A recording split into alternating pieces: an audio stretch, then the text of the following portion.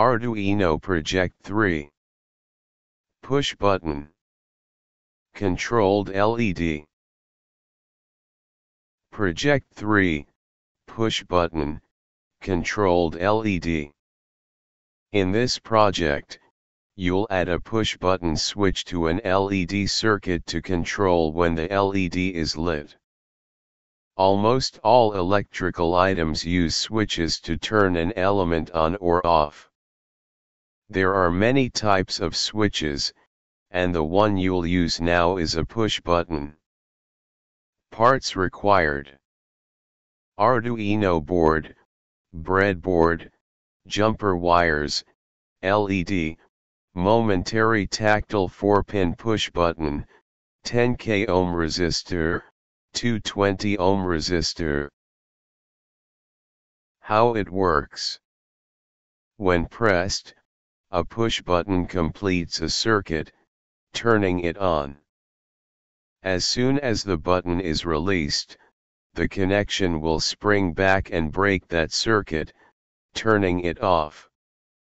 The push button switch is also known as a momentary or normally open switch, and is used in, for example, computer keyboards. This type of push button has 4 pins, but you generally use only 2 at a time for connection. You'll use the top connections in this project, although the two unused pins at the bottom would do the same job. As figure 1 to 2 shows, the pins work in a circuit. Pins A and C are always connected, as are pins B and D. When the button is pressed, the circuit is complete.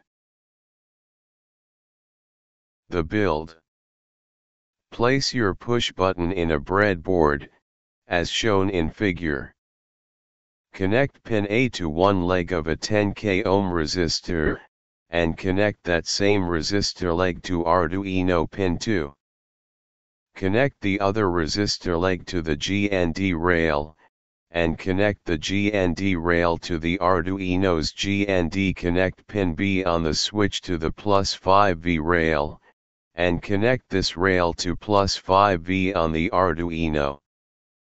Add the LED to your breadboard, connecting the longer, positive leg to Arduino pin 13 via a 220 ohm resistor and the shorter leg to GND.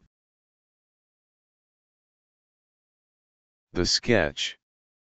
In this sketch, you assign a pin for the push button and set it as input, and a pin for the LED and set it as output.